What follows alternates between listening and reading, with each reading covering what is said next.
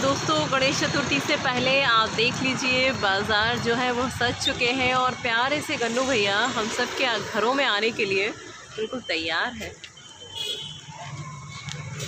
क्या रेट है भैया? ये पीओपी के हैं या मिट्टी के हैं? ये पीओपी आदि मिट्टी है अच्छा अच्छा मिक्स बनाए हाँ। वो क्या सूखते नहीं है अच्छा इसलिए। और वैसे भी बहुत पानी गिर रहा है बाढ़ सी आ रही है। हाँ।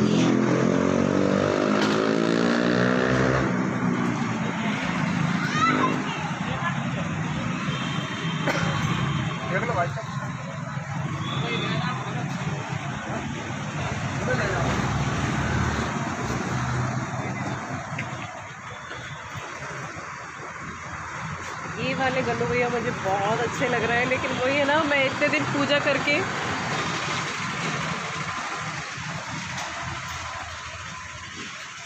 और ये हमारे गाँव की दुकान जो है, वो सज चुकी है।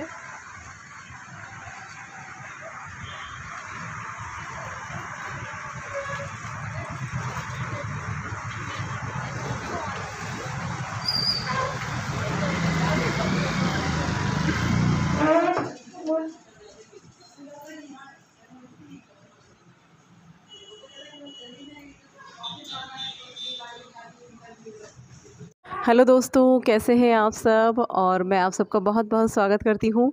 और सबसे पहले तो मैं आप सभी को गणेश चतुर्थी की शुभकामनाएँ देती हूँ पर्युषण पर्व की शुभकामनाएँ देती हूँ, क्योंकि गणेश चतुर्थी के साथ ही जो जैनों का महापर्व पर्युषण पर्व है, वो भी स्टार्ट होने जा रहा है। और हमारे साथ आज हम जो है, आ जाओ बेटा। हम जो है वो अपने गाँव के मंदिर में बैठे हुए हैं और मेरा बहुत मन था कि हम यहाँ पर जो डेकोरेशन हो रहा है या गणेश जी की स्थापना के लिए जो तैयारियाँ चल रही है, उस तैयारी में थोड़ी सी मदद करें। तो हम आ गए हैं और हमारे साथ जो है मंड, इस मंदिर के जो पंडित जी हैं, आचार्य पीलेश कृष्ण जी जो हैं, वो बैठे हुए हैं और बहुत सारी जो दीदियाँ हैं, वो कंटिन्यू काम में लगी हुई हैं और बहुत सुंदर सा मंदिर है हमारे गाँव का। गौ माता भी बार बार झाँक रही हैं कि थोड़ा सा प्रसाद उन्हें भी मिल जाए। तो आज हम अपने वीडियो में आचार्य जी से ये जानना चाह रहे थे। सबसे पहले कि आचार्य जी, आप हमें ये बताइए कि, गणेश जी की स्थापना के लिए शुभ मुहूर्त क्या है? किस शुभ मुहूर्त में गणेश जी की स्थापना की जा सकती है? वैसे अभी जो वर्तमान में कल से जो गणेश उत्सव प्रारंभ हो रहा है, उसके लिए तो गणेश जी का स्थापना का मुहूर्त दोपहर में शुभ माना जाता है। क्योंकि गणेशोत्सव में गणेश जी का जन्म दोपहर के समय हुआ था, इसलिए सर्वोत्तम मुहूर्त तो दोपहर ही होता है और इस जो गणेश चतुर्थी जो आ रही है कल, उस गणेश चतुर्थी को दोपहरिया गणेश बोले जाते हैं, क्योंकि उनकी दोपहर में ही स्थापना होती है। तो सर्वश्रेष्ठ मुहूर्त लगभग 11 बजे से और 2 बजे के मध्य का जो मुहूर्त है, वो अति उत्तम मुहूर्त है। अच्छा गणेश जी को की जो स्थापना की जाती है, उसका विधान क्या होता है? किस विधान के थ्रू क्या क्या प्रक्रियाएँ होती हैं, जिसके थ्रू हमें स्थापित करना चाहिए? देखिए, गणेश एक ऐसे देवता हैं जो किसी भी पूजन के प्रारंभ में या किसी भी मांगलिक कृत्य के प्रारंभ में गणेश पूजन से ही किसी भी प्रक्रिया का प्रारंभ होता है। और ये तो फिर चूँकि गणेश जी का उत्सव है तो गणेश जी की पूजन के लिए सबसे पहले व्यक्ति एक सुंदर चौकी का निर्माण करें, उस चौकी के ऊपर लाल रंग का कपड़ा बिछाएँ और उस लाल रंग के कपड़े के ऊपर एक तरफ़ घी का दीपक जलाएँ, एक तरफ़ सुंदर तांबे के पात्र में कलश स्थापन करें, उसके पश्चात मध्य में गणेश जी को स्थापित करें। और फिर सबसे पहले गणेश जी का ध्यान करके दे हुए, स्नान कराएँ, चंदन, चावल, अक्षत से पूजन करें, माला इत्यादि लगाएँ। भगवान को दूबा विशेष प्रिय है गणेश को तो दूबा चढ़ाएँ, उसके पश्चात फिर लड्डू इत्यादि का मोदक भोग जैसे लगता है, मोदक का भोग लगावें। और मोदक भोग के पश्चात फिर आरती, प्रार्थना इत्यादि करके गणेश जी को मनाएँ। ये दस दिन गणेश जी के अति मंगलदायी हैं। और जो मनुष्य गणेश जी का उत्सव मनाता है, इन दस दिनों में उनकी साधना करता है। ऐसा मान्यता है कि अनंत चतुर्दशी के दिन भगवान गणेश का विसर्जन होता है। तो जीवन में जितने भी उपद्रव हैं, जितने भी विघ्न हैं, वो सब गणेश जी हर लेते हैं।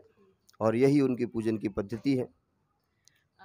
आचार्य जी, अक्सर देखा जाता है कि जैसे हम अपने गाँव में देखते हैं कि गाँव में तो जो है वो सामूहिक गणेश जी की स्थापना होती है, लेकिन शहरों में जो है पर्टिकुलर हर घर में गणेश जी बिठाए जाते हैं और आजकल कॉलोनी में भी गणेश जी बिठाने की भी प्रथा स्टार्ट हो गई है तो क्या हमें हर घर में बिठाना चाहिए या फिर सामूहिक तौर पर बिठाएँ तो भी हमें उतना ही फल मिलता है? जी जी। पहले क्या था, पूर्व काल में जो गणेश जी सामूहिक लोग बैठाते थे आपसी सामंजस्य और समरसता का एक भाव गणेश जी के प्रति लोगों का होता था।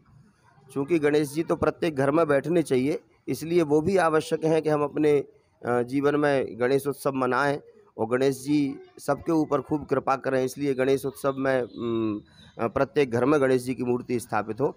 लेकिन सामूहिक रूप से भी एक संदेश जाता है कि हम समरसता का सबके प्रति व्यवहार करें और बहुत पहले की पर प्राचीन परंपरा है, कितना भी कोई किसी से झगड़ा हो जाए, किसी से वही मनुष्य हो जाए, तब भी ऐसे उत्सव जो आते हैं, जैसे गणेश उत्सव है, दुर्गा उत्सव है, या फिर होली, दिवाली का त्यौहार है, ऐसे उत्सवों पर बड़े से बड़े बुराइयों को भी दूर किया जाता था। और सब लोग आपस में मिल कर के, खूब हिल मिल कर के व्यवहार रूप में ये त्यौहार मनाते थे, इसलिए समरसता का एक संदेश है कि सब लोग सामूहिक रूप से गणेश उत्सव में सम्मिलित हों, भजन कीर्तन इत्यादि ग्रामीण क्षेत्रों में होते हैं और हम सब प्रतिवर्ष करते हैं। अब ये दस दिन तक सब गाँव के लोग इकट्ठे होंगे। इकट्ठे होकर के रात्रि में महिलाएँ अलग भजन इत्यादि गाएँगी और पुरुष वर्ग अलग भगवान के कीर्तन गाएँगे।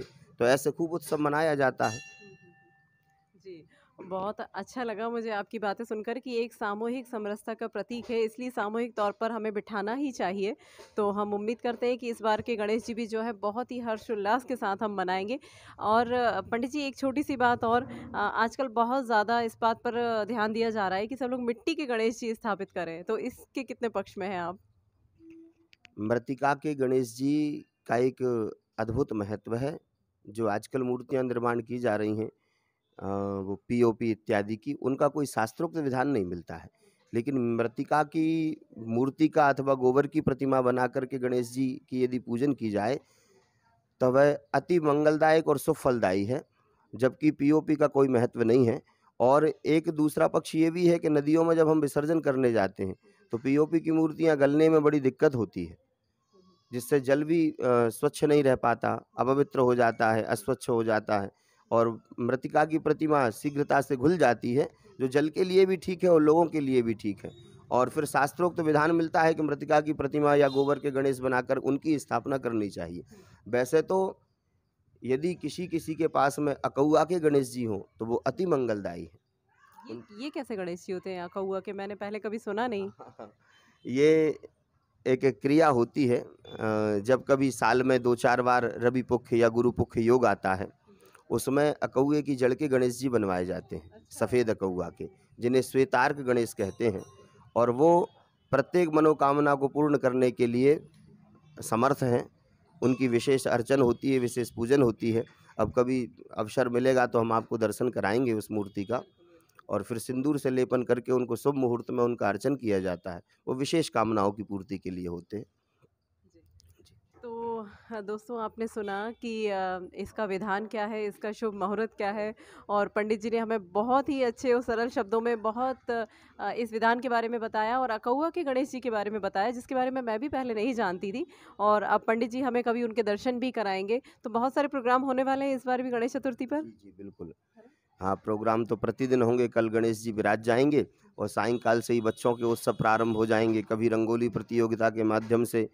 और छोटे छोटे बाल कलाकारों का उत्साहवर्धन हम लोग करने की कोशिश करेंगे।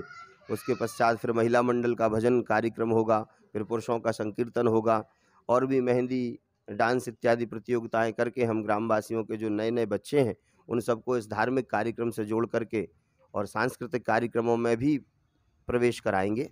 ऐसे सब उत्सव हैं। हमारी परंपरा से जुड़ने का, हमारी संस्कृति से जुड़ने का, हमारी विरासत से जुड़ने का एक बहुत ही अच्छा कहना चाहिए माध्यम है ये गणेश उत्सव। और आप भी खूब धूम से मनाइए। पंडित जी ने हमें शुभ मुहूर्त के बारे में बता ही दिया है कि कब शुभ मुहूर्त है। तो बस गणेश जी को बिठाइए। बहुत ही अच्छे और अच्छे भगवान जी अगर कुछ गलती हो भी जाती है तो बहुत ज़्यादा दंड नहीं देते हैं। गन्नू भैया सबको बहुत बहुत सारा प्यार करते हैं और सारे विघ्न जो है वो लेकर चले जाते हैं। और मेरा तो उन्हें बिठाने का मन इसलिए नहीं करता कि मैं उनको दस दिन बाद छोड़ कर आने में मुझे बड़ा कष्ट होता है। मुझे लगता है वो हमेशा साथ में ही रहे, इसलिए मैं बड़ा आगे पीछे होती हूँ उन्हें बिठाने के लिए। बहुत अच्छे लगते हैं, मेरा मन नहीं होता उनको छोड़ के आने का, लेकिन वो एक विधान है जिसे पूरा करना होता है। तो आप इसी तरह से नई नई जानकारी के लिए आप हम सभी के साथ बने रहिए और थोड़ा सा हमारे गाँव के छोटे छोटे से बच्चों को ज़रूर देख लीजिए जो बहुत ही ध्यान से सुन रहे हैं, क्योंकि अब यह बहुत ईगरली वेट कर रहे हैं कि अब और वो गाय माता भी आ चुकी हैं, देखिए, वो भी दर्शन करने के लिए यहाँ आती हैं और वो यहाँ पर प्रसाद खाती हैं।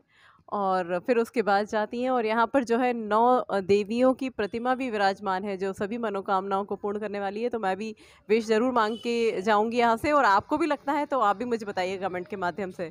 तो इसी तरह से आप बने रहिए हमारे साथ। आगे की वीडियोज़ के लिए जय हिंद, जय भारत।